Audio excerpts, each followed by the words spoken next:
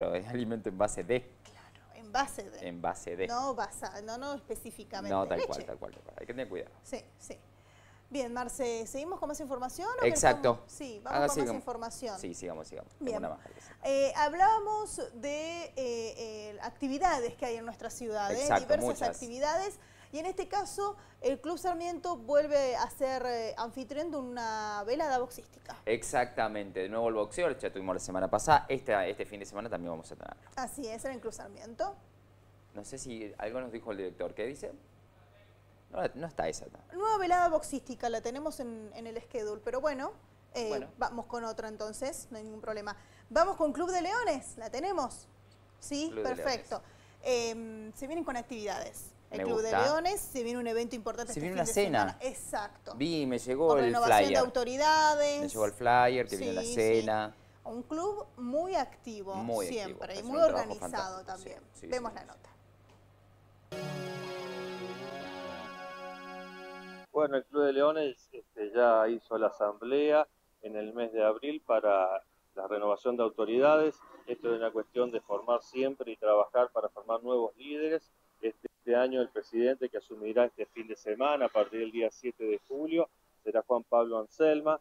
Silvina Molina va a ser la secretaria y quien les habla va a ser el tesorero de la nueva comisión con el trabajo de todos los comités que tenemos en cuanto a las causas tanto globales que tiene el Club de Leones como las causas también locales que tenemos.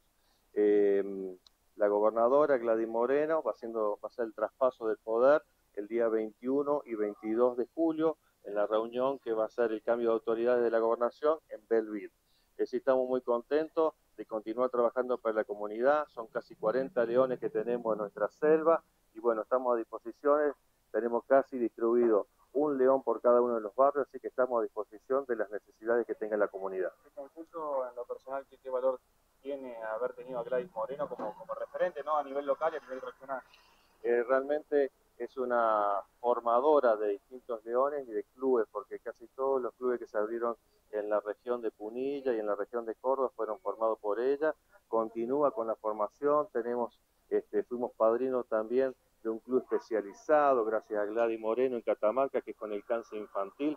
Estamos trabajando para lo que sea de lo que vamos a recibir un subsidio, en principio por lo que gestionó ella en la Escuela de Sordos, el subsidio más alto que entrega la Fundación Internacional de Leones, que son 100 mil dólares para esta Escuela de Sorda en San Rafael Mendoza, y ahora va a estar la formación de la clínica especializada en cáncer infantil en Catamarca, donde tenemos estos profesionales, también gestión de Gladys. También decirle que hizo crecer muchísimo a estos 40 clubes que tenemos en 10 provincias, este, también formando nuevos clubes y en, en, principio ahora en los primeros días de julio está jurando un club Leo nuevo que conseguir jóvenes que se dediquen a la causa realmente es muy importante.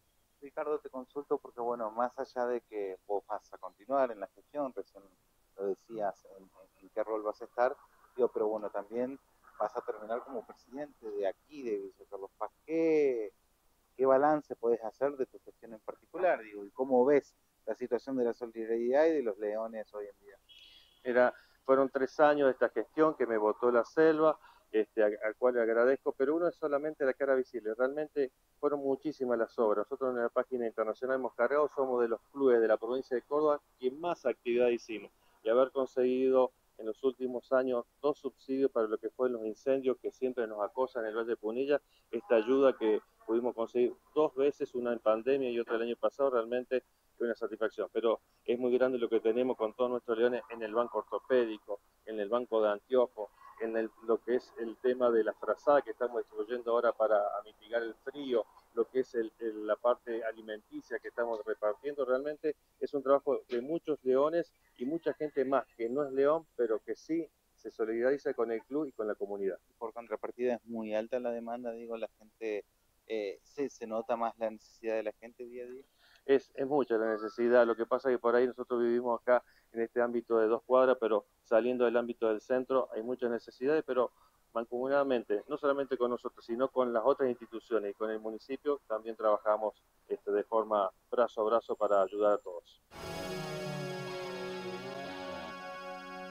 Muy Estaba bien. entonces la gente del Club de Leones, que renovando Siempre autoridades, trabajando, sí, muy bien. Muy, ¿Eh? bien, muy bien. Para, para adelante. Y bueno, pero a mí me gusta esto que son bien ordenados, ¿viste? Así es. Que hablábamos con, también en su momento con Gladys Moreno, que es gobernadora, que es en Claro, distintas, pero más de 10 diez, provincias, 10 diez provincias de nuestro país. Y después, eh, pero ella comenzó acá, en el Club de Neones eh, Lago San Roque. San Roque, ¿no?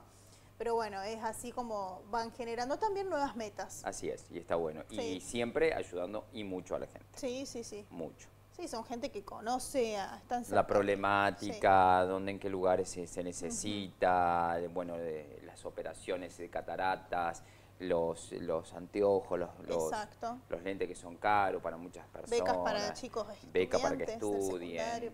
eh, todo lo que son las prótesis. Sí. eh, y también lo que se necesita, sillas de rueda, eh, muletas y ese tipo de cosas. Claro, que tiene un- todo. un, banco de ortopedia bastante Es, interesante, que muy interesante. Vamos a una nueva pausa, Marcelo. Así es, ahí venimos.